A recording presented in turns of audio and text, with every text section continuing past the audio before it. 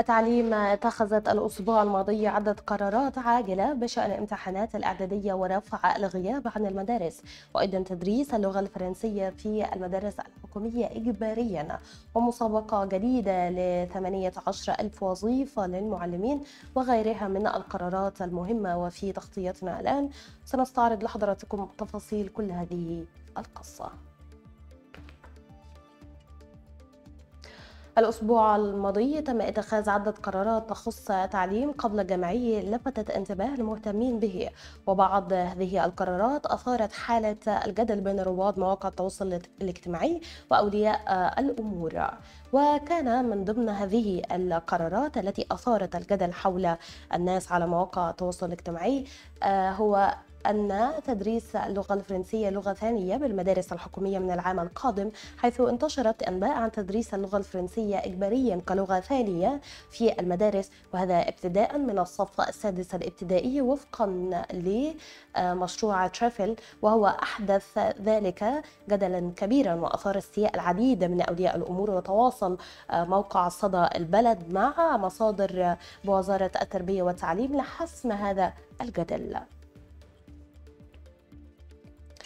وعلم أن مشروع دعم تدريس اللغة الفرنسية في المدارس الحكومية هو ثمار ترافل اتفاقية الشراكة المصرية الفرنسية في المجال التعليمي المتوقعة أو الموقعة عام 2020 من خلال الدعم الذي قدمته سفارة فرنسا بجمهورية مصر. العربية. وأيضا الوكالة الفرنسية للتنمية ويعد هذا المشروع أيضا استكمالا لما تم البدء فيه منذ عام 2018 للتوسع في تدريب معلمي اللغة الفرنسية.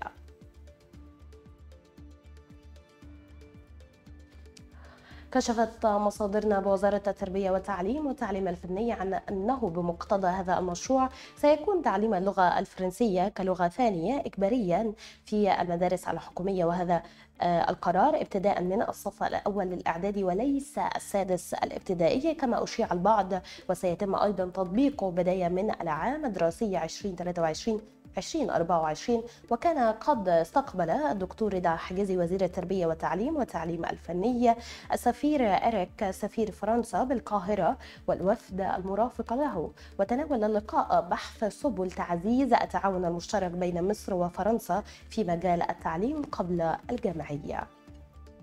ذلك كله في إطار العلاقات المتميزة بين البلدين.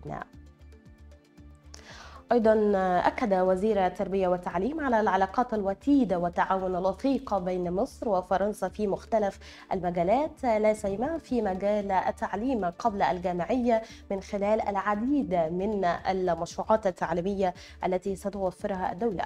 وأكد أن الدولة حريصة على تعلم أبنائها العديد من اللغات وتمكين أيضا كل المهتمين باللغة الفرنسية من تحسين مستوياتهم. أيضا أضاف وقال أنه سيتم تدريس اللغة الأجنبية الثانية بالمدارس الحكومية بالمرحلة الإعدادية بداية من العام الدراسي 2024-2025 وتشمل اللغة الفرنسية بجانب عدد من اللغات الأخرى لافتا إلى أن للطالب له كامل الحرية في اختيار اللغة الثانية كما يشاء. كما تم إصدار قرارات عاجلة بشأن امتحانات الشهادة الإعدادية تمثلت فيما يأتي.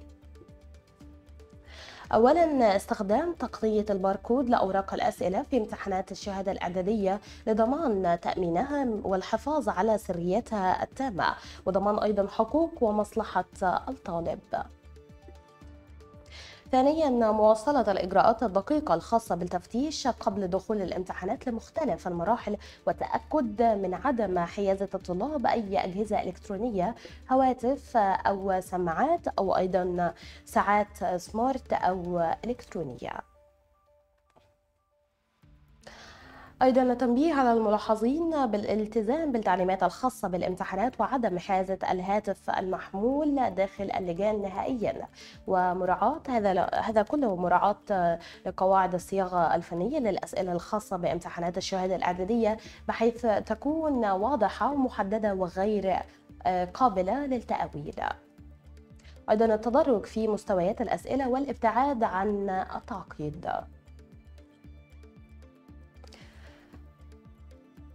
مشاهدينا هذه كانت تفاصيل هذا الموضوع. نشكركم على طيب المتابعة. كنت معكم ملك ريان. شكرا لكم وإلى اللقاء.